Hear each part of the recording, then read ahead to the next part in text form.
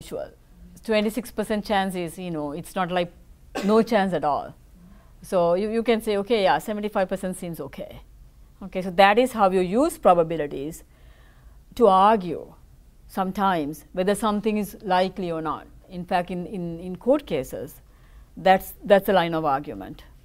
Okay, if you are into forensics, Whitney. you know, you say someone can say, okay, there's like a 75% chance that this person has the same DNA as the accused or something, okay? And then you will find some other probability and then, then argue and say, is it likely or not, okay? Okay, now binomial probabilities you can calculate or typically they have, you know, you have it in the back of the book, okay? Uh, let's see, I'll show you here.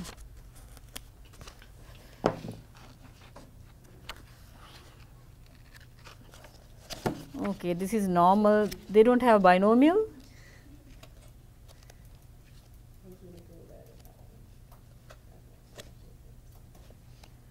Oh, that's strange.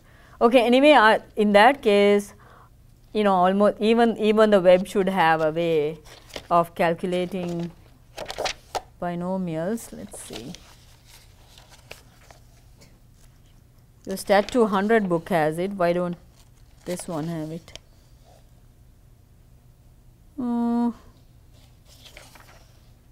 Well, I'll look it up. I don't want to waste your time. Now, if you use Minitab, remember the software. This is the, you know, this is just uh, how you get it. Uh, and then I can show you the Minitab um, screen. This is how we look at it. Okay. What's the time now? Oh, I have time, so I can even show you. But we only have about seven minutes because I have that other.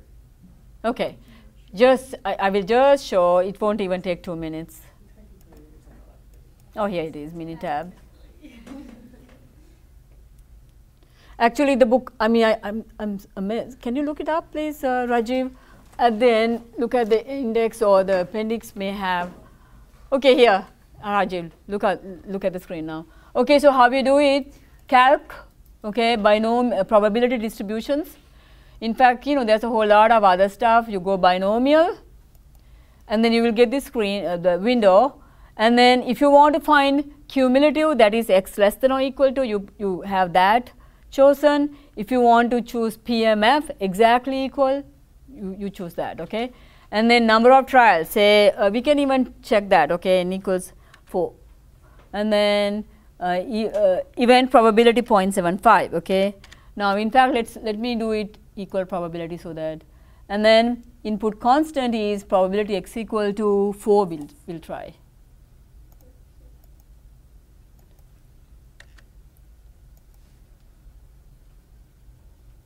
Point three one six four, the same answer. Now, if you want to get the cumulative, say you do the same thing, calc, probability, binomial, and then you go here, cumulative. I mean, same um, same parameter values, and then less than or equal to 4, what will you expect? Cumulative would be 0.21. Probability x less than or equal to 4, what will you expect? Cumulative probability of 4, 0.31. 1. Because that, that's the max it can go out of 4, right? Out of 4 trials, it cannot go beyond 4. So, it has to be 1,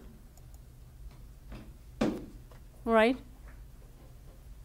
So, you can, you can calculate the cumulative or the um, or the exactly equal probabilities using Minitab, okay? I'm done. Now, I think Monday we will do a couple of uh,